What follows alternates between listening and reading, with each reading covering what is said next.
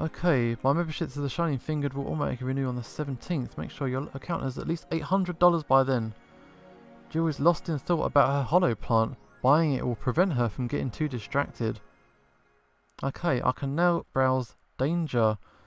I can, I can now visit JC Elton's. Let's buy a hollow plant. Can I do that? Shop. Let's go shopping. I want the hollow plant, don't I? We got cute clay houses. Hollow plant. $600 in memory of a real potted plant. Got one. Okay, Jill bought the plant she wanted and she's pleased with herself. She will surely focus at work. Okay, let's check out the phone. What's good? D. Dangerous Opinions. Mickey concert. Okay. I'm going to marry Mickey. Stop being such an attention-seeking whore. Okay. There's the comments section. okay, let's talk about Alice Rabbit. Okay, so this is kind of like a discussion board, people talking about what's going on there. Okay.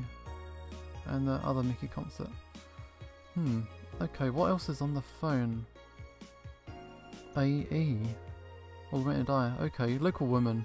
Local hero by Lana Smithy. This morning, a suicide attempt was thwarted by an unidentified local woman. The incident occurred at the Artemis Wheel Mall, where other people noticed someone was at the rooftop of the building. Firefighters were called as soon as their presence was noticed by pedestrians, but the person jumped off without notice.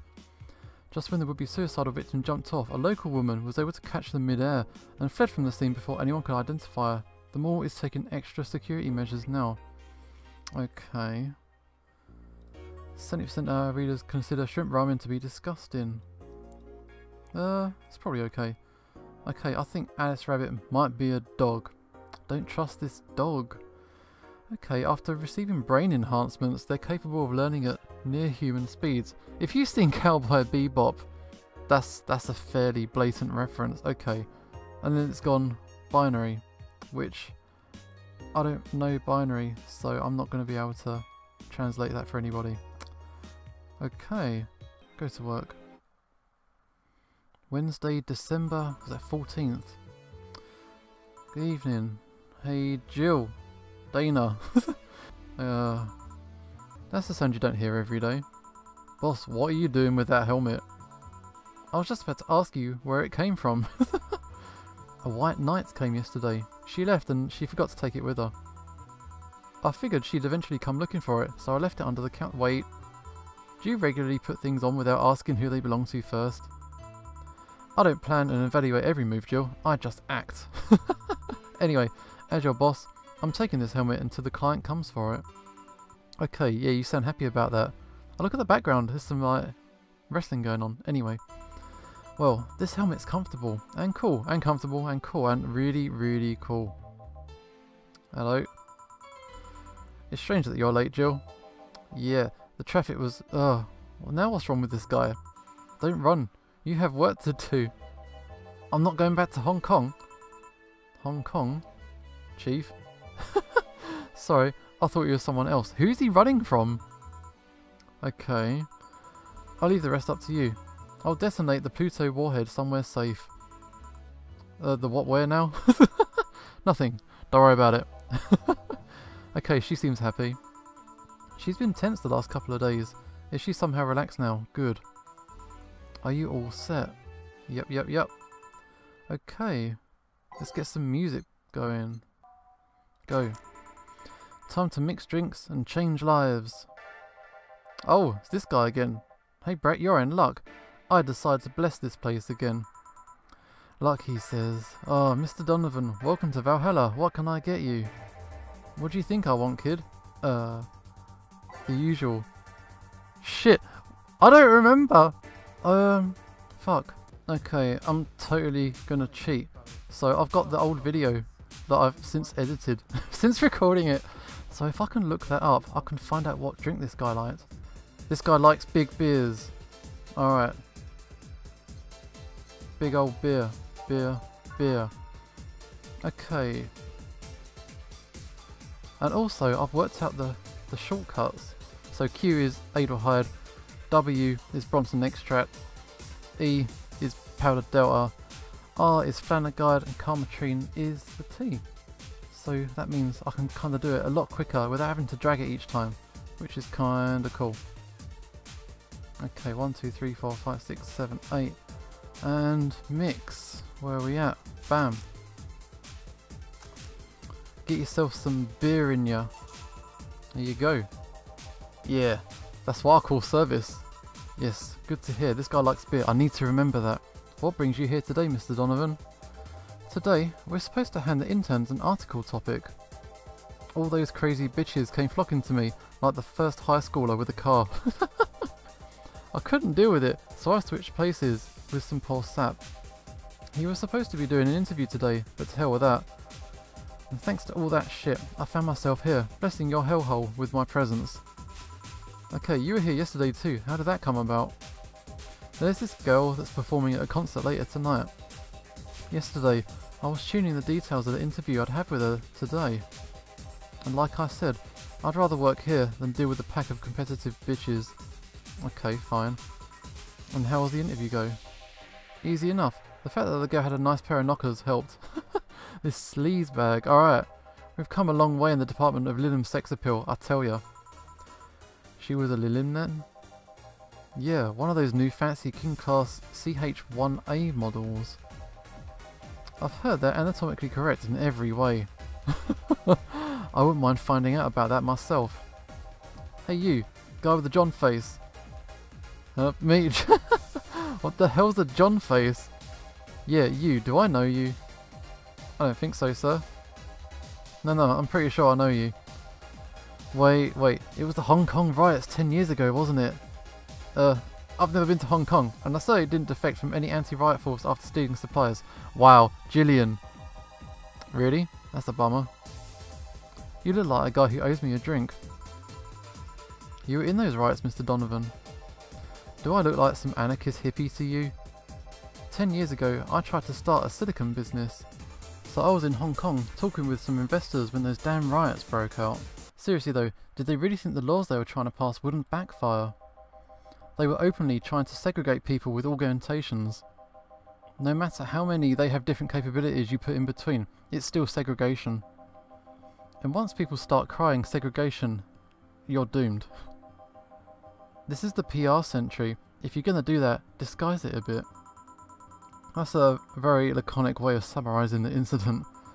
I mean, there was a political agenda revolving around cheap labour, and the plan reached such a developed stage because the media were fear in the public. The general fear that augmented people would become power-hungry maniacs was a key factor in the plans, and everything is mostly the aftermath of previous protests where, on second thought, maybe it's better to be laconic. Trying to get the full picture might take you back beyond the Industrial Revolution. All that happened when I got out of high school. I remember I had to turn down a scholarship in Hong Kong because of all of that. Yeah, scholarship. That's no mean feat, brat. Well, I guess even without the scholarship, there would have been the language barrier. I remember I was kind of excited back then because I was really into this Chinese idol band. it's one of those things I'd rather not remember much of. You'd be surprised at how easy Chinese can be. So you know how to speak Chinese. The only translator I had available was some pizza-faced pencil neck. And I wasn't going to allow myself to be seen with that.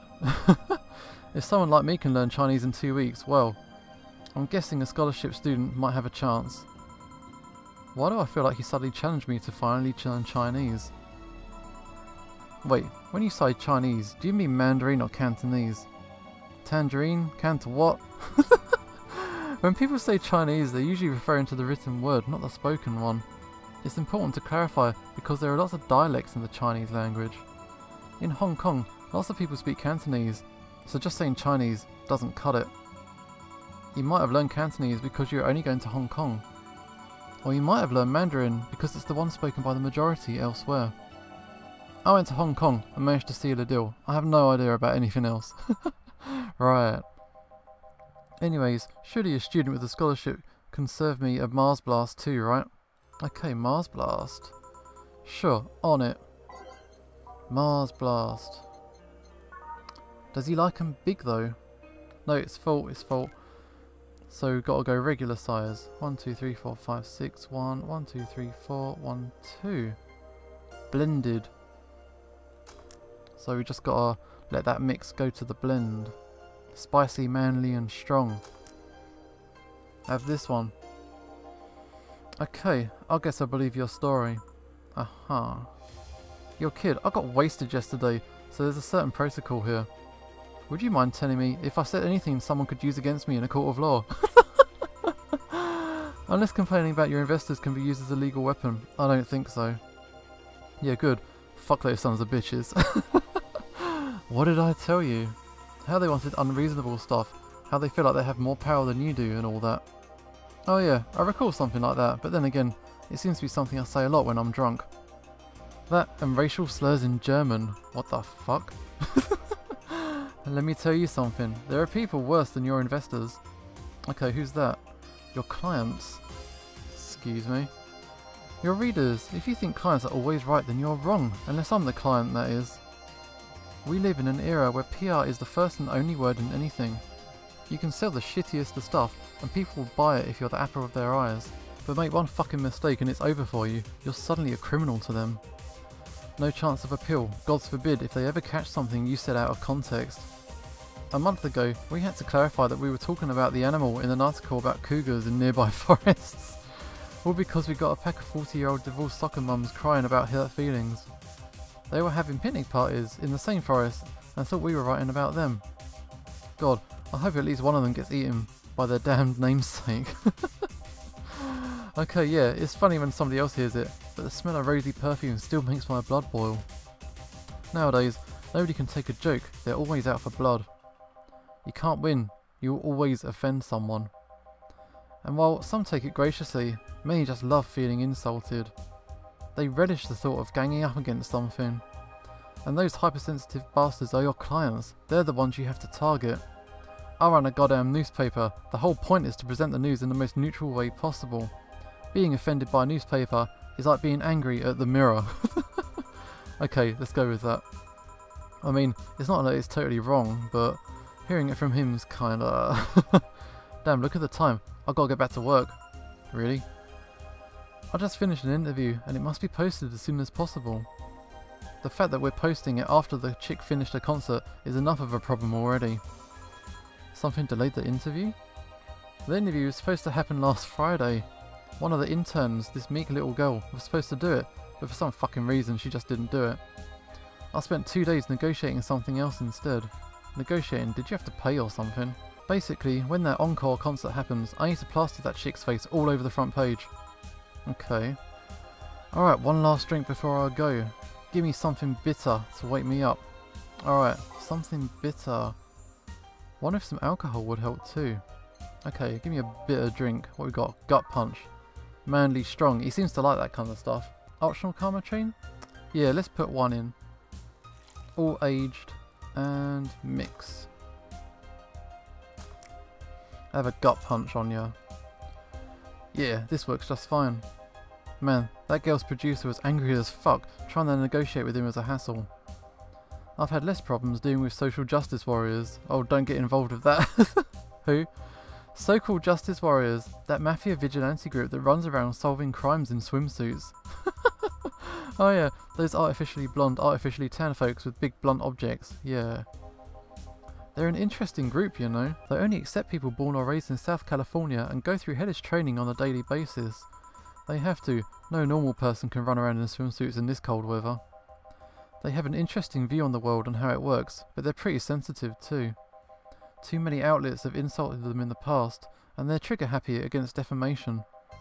I've had a dozen guys in Speedos talking to me about some news while flaunting their bags of batteries. and they were still more polite than that producer guy.